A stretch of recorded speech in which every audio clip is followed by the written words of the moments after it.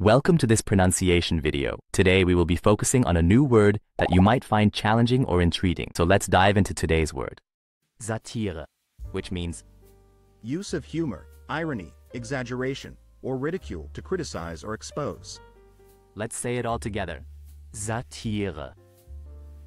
Satire. Satire. One more time. Satire. Satire. Satire.